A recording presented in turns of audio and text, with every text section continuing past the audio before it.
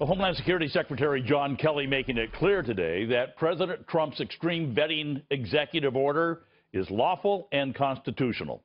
Kelly testified before a House committee also criticizing the Washington state federal judge's ruling halting the order. I have nothing but respect for, uh, for uh, our judges, but they live in a different world than I do. I'm paid to, to worst case it. He's paid to, in a very academic environment, uh, make a call. And I don't criticize him for that. That's his job. But I'm uh, the one uh, that is uh, charged with protecting the nation, the homeland, and I intend to do that. Yeah, he's got the real deal job. Meantime, we're standing by again for that Ninth Circuit Court of Appeals ruling.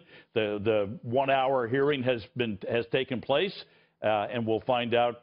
It could come at any moment. What happens out in San Francisco? Meantime, joining me now, former chairman of the Republican National Lawyers Association, Randy Evans. And Randy, um, I, this whole case gets to be kind of wonky because of the legal rules about it. I've got a little cheat sheet here about what happens if they rule this way or that way. What, what's your take on this uh, Ninth Circuit even being involved in? There's some question about whether they even have the right to be.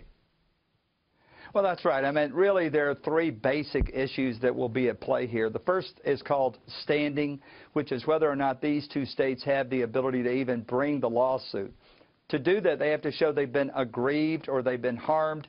Their argument is to say that there are individual citizens in their states, such as companies and universities, that are being limited because people can't get back into the country. The obvious question is, why aren't those people the plaintiffs as opposed to the states? Really, I think if, if, if the court, uh, Ninth Circuit follows the law, the case should be kicked out on the standing issue alone. Yeah, but the second issue. But that's the key. The second, if they'll follow the law, but you know the reputation of the Ninth Circuit is very liberal and the most overturned circuit court of any of them by the Supreme Court. So, do you do you believe that they always follow the law? Well, I think the Ninth Circuit is certainly the most liberal circuit in the entire country, and they are the most reverse circuit. Um, I think here we're at a little bit of a disadvantage because should this liberal circuit decide to uphold the ban, then it would go to the U.S. Supreme Court where it would end up a 4-4 tie leaving in place the district court judge's right, ruling right. in Washington. You can think about how crazy that would be. Uh, think about the additional time pressure that would put on the timing of Judge Gorsuch's nomination and confirmation before the U.S. Senate. It would put enormous pressure to, to get him, to move that a little faster, move it up the track. I was listening to the conference call uh, before coming on the show tonight, and there was uh, back and forth about the fact that the uh, Solicitor General for the state of Washington was arguing for the state of Washington and Minnesota. And he said that, uh, listen, if, if you go along with our, our, our idea, ju the judge in Seattle will have a hearing a week from Friday to actually have a hearing on the merits. So it sounds like they're still thinking about speeding it up, but I wouldn't expect that that would change anything.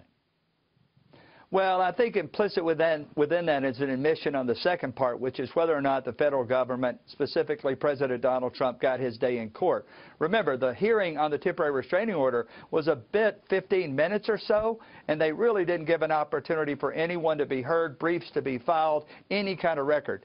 Imagine enjoining the President of the United States who has made a determination that the national interest of the entire country is at stake and he wants to vet more severely or significantly vet people coming into the country, and you have a sitting district court judge in Washington deciding, oh no, I'm going to overrule the president's determination of what's in the best interest of the country. You can see why I think they're backing off of that a little bit, and they're insisting, oh no, no, we'll give a hearing, we'll have a really fast hearing. But but but I know this isn't a fact gathering case, but at the same time, I was listening uh, the just judge from. Uh, that's in Phoenix, the 85-year-old, the oldest one of the of the judges, he was asking about it. Well, has anybody really been arrested from any of these.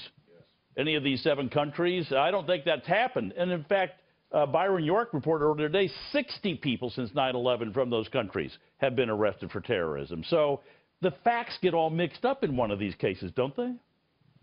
They really do. I think that's President Carter's appointee you're talking yes. about here, yes. and I think he was the one. He was the one who was expressing some suspicion about. Well, has anybody actually ever been arrested? Prior to this, the answer was yes. That's how President Obama's administration decided these are the seven countries from which we need to do more significant vetting, where we need to do a better job of vetting. And so it shouldn't have come as a surprise. But had they had a full evidentiary hearing before issuing a national ban, oh, basically vitiating, uh-huh. overruling the president, they would have known that before today. Then these questions would have been answered. Randy Evans. That's right. You're good- right. Thank you for your expertise. Thanks for joining us tonight. Appreciate it. Thank you. You bet.